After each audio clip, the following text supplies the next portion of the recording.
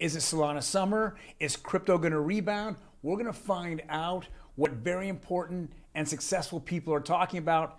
Guys, thank you for joining me today. This is OG Crypto and NFTs. My name is Troy, and we try to come to you three or four times a week about the latest news in crypto and in NFTs.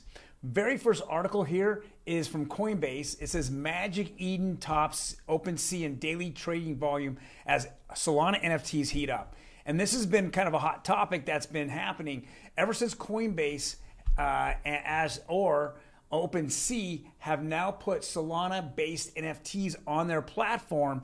Now all of a sudden, Solana has become hot, and those NFTs now on SolSea and now especially Magic Eden, their marketplaces for Solana and, and pretty much Solana only NFTs have really heated up. So remarkably today, you know, Magic Eden topped OpenSea, which is kind of crazy to think about as OpenSea has grown just tremendously in their in their daily users and their volume. If we go back to October of 2021, there was about a million users on OpenSea. Today, in March, actually, they reported 30 million. It went up 30 times, and we haven't even touched, you know, more than two or three percent of the entire population in the world.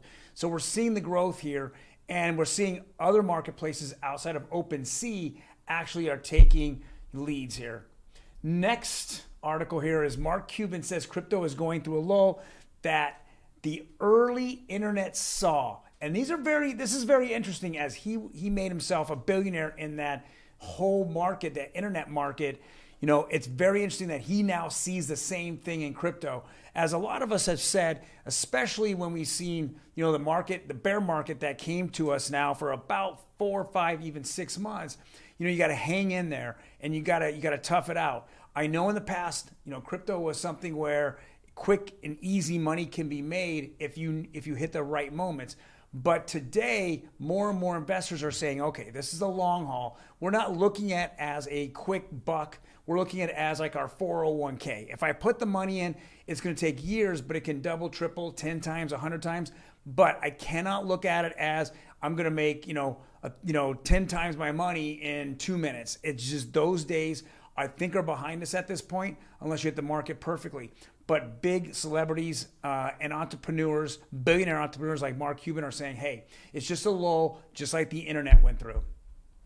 Next article here is how NFTs are making real estate investments more obtainable. And this is a very interesting article because as the real estate market continues to go up and up in value, we're starting to see that market for NFT virtual land or NFT land really start to take off. You know, you know, Decentraland and Sandbox are pretty popular, even though Decentraland doesn't have all the sparkly, you know, uh, things that Sandbox has. But NFT Worlds and then what what Yuga Labs and the Bored Ape Yacht Club did was put out the Otherside land that has really taken off. We're starting to see the popularity grow, and some of these land, land you could obtain for $10,000, $15,000, $20,000 right now, even, even more. So think about it. You know, land in a virtual world, if you really think about it, it's worthless, right? But as people build on top of it, it's and they talk about where people are going to live in the future or have a alter life in the future. That's something that you want to look into is these type of lands on on in virtual real estate. Next is Ripple's, this is from crypto.news. Ripple's ODL solution adopted by Lithuania's FINCI for cost efficient cross border payments. We're seeing Ripple and RippleNet grow and grow and grow here.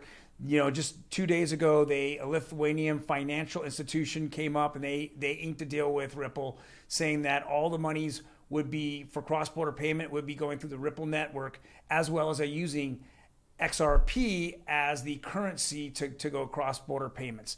So we're seeing the growth of Ripple. I know that there's a lot of influencers out there that like it and a lot that don't like it, and you're hearing both sides of it. But what we're doing is simply seeing Ripple grow, grow, grow, even though they're being they're in a huge lawsuit with the SEC. The next article here is Spotify.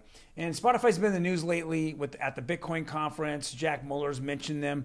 But here, this on Blockworks, it says Spotify trials NFTs and Madonna's first NFT collection. As we see it, you know, there's been some kind of resistance in in somewhat of the music industry and especially the gaming industry that you know the markets have been around for so long that anything new becomes more of a, a resistance point. But now Spotify says, hey, let's go put the NFTs out. What music is starting to really take off here. And now if we can actually have more people identify with the NFTs with, you know, you know, CD drops or their music drops or, you know, even Madonna's and her first collection, which is which as I saw a few of them is very risque and very interesting. Uh, if, we, if some people call it spicy, very interesting. But we're so, we're seeing this happen. These trials from Spotify are just the beginning. I think they're going to actually adopt it and they're going to actually use it with other music, you know, with their music side of their business.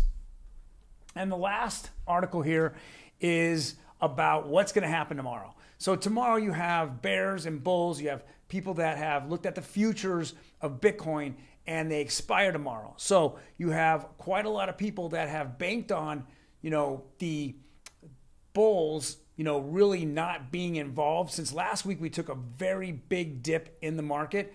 And this week, a lot of people put for their futures that we're going to be a, there's going to be a run up this week, and then on Friday they're going to go typically over thirty-two thousand dollars Bitcoin to exceed thirty-two thousand dollars, and their futures and make just quite a lot of money. But the Bears are looking at it in a different form. They're thinking it's going down to 29,000 or even less. So tomorrow there's this there's a, a pull and tug. What's going to happen? Who's going to cash out and who's not? Is it going to go over 32 or under 29? Very interesting. Bitcoin currently is right around 30,300. So overnight it's going to be big big deal. That's going to happen and we are going to see it play out in front of us tomorrow. Well, thank you for joining us. If you like our content, hit the like button. Otherwise, please hit that subscribe button. More subscribers, I'll put out more videos, more content on local crypto news uh, throughout the throughout the world itself. If you want to get uh, a notification button, it notifies us when we drop this video. Otherwise, guys, have a fantastic day.